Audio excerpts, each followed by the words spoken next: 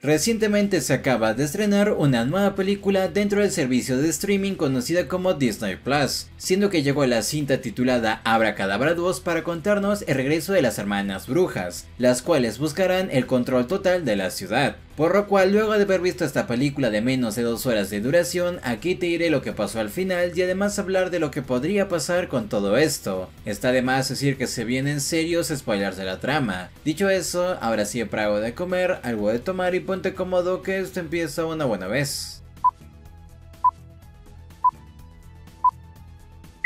Primero recordemos lo que pasó al final de esta película para luego ver qué pasó en el desenlace y además hablar de momentos importantes de la historia. Como recordarán en los minutos finales, Winnie se da cuenta que al realizar el hechizo de poder perdía a sus dos hermanas, siendo que ella le pide a Becca que use el libro para poder reunirlas nuevamente. Becca recita el hechizo de reunión y así Winnie desaparece frente a sus ojos. Luego de esto, Becca y sus amigas se van para seguir festejando Halloween, solo que ahora saben que una de ellas es bruja, siendo de esta manera que se termina la película titulada Abracadabra 2. Cabe mencionar que no tenemos una escena post créditos. Con esto mencionado y recordado, ahora sí pasemos a ver qué pasa al final de esta película, y además hablar de momentos importantes de la historia. Primero, para empezar, hay que hablar del hechizo principal de toda esta secuela, el conjuro que otorga poder a un solo portador si que era realmente poderoso pero como su poder era tan grande, el costo a pagar también debía de serlo. Este costo dependía de la bruja que conjuraba este hechizo. En este caso, como Winnie lanzó este hechizo, tuvo que perder lo que más amaba en el mundo, y en este caso perdió a sus dos hermanas en una escena realmente emotiva. Pero al saber esto, Winnie quería recuperarlas, ya que sus hermanas era todo lo que tenía.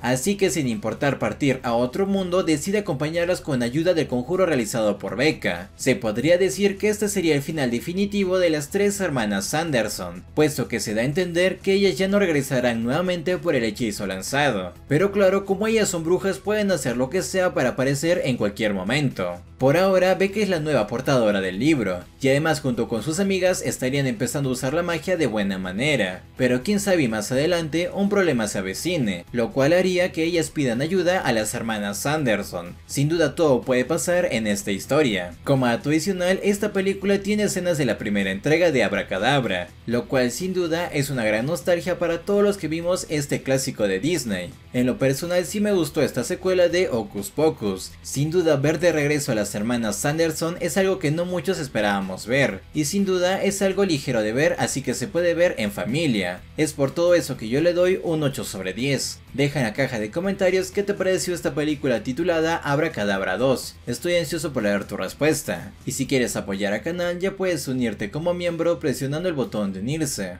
Ya finalizando con el video, no olvides dejar tu like si te gustó este contenido, suscribirte si aún no lo estás para que te enteres de nueva información de películas o series de momento, también alguno que otro anime. Y si deseas comparte este contenido para que pueda llegar a más personas. Dicho eso, ahora sí me despido y nos vemos en otra ocasión.